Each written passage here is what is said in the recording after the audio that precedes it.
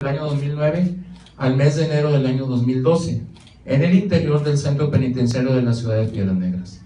Los cinco sujetos que ya están ahorita ya internados son David Alejandro Loreto Mejorado, Francisco Javier Vélez, Santiago Peralta García, Ramón Burciaga Magallanes, Manuel Elguezaba Hernández.